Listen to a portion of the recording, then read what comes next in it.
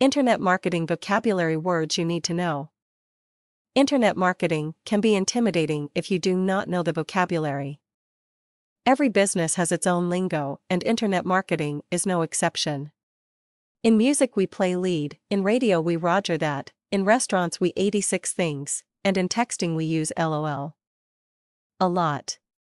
I can safely conclude that you have entrepreneurial tendencies and probably worked in sales at some time.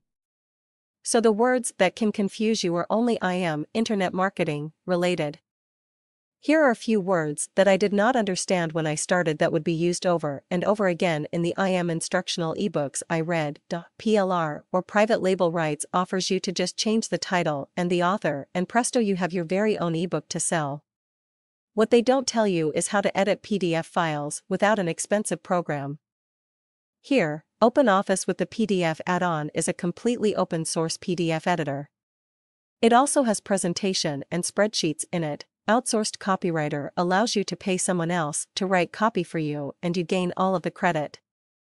Copy is anything in written form on your website or email marketing. You need fresh relevant material for your website so if you do not have time to write or if you just stink at it, you outsource your copywriting. Most free articles I've been offered to use have been weak, used by many, and not well informed.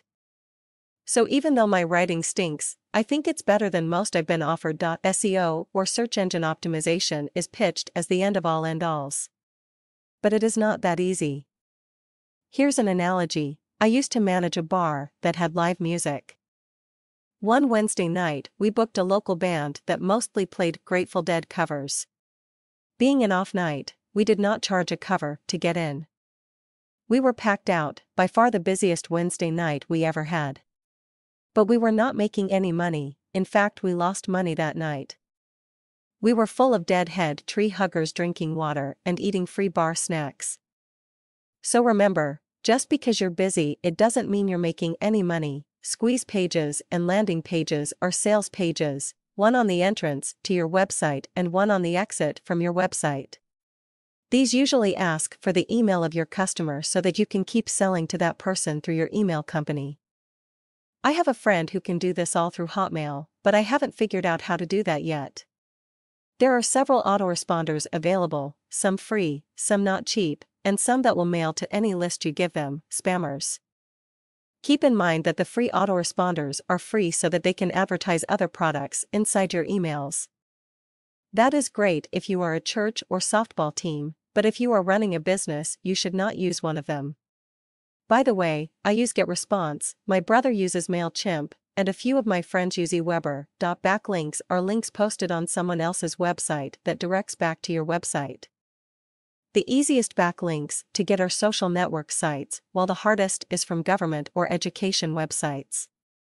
The search engine recognizes this challenge and gives greater weight to .edu or .gov backlinks. The most honest way to create backlinks to your site is to write articles, comment on other blog sites, and engage in conversations in forums. This way grows slowly, but has the greatest long-term return. Open source refers to access to free programs. The most recognized open source for new internet users is WordPress or maybe Blogger.com. Here's two more open source programs I use for designing pages and pictures.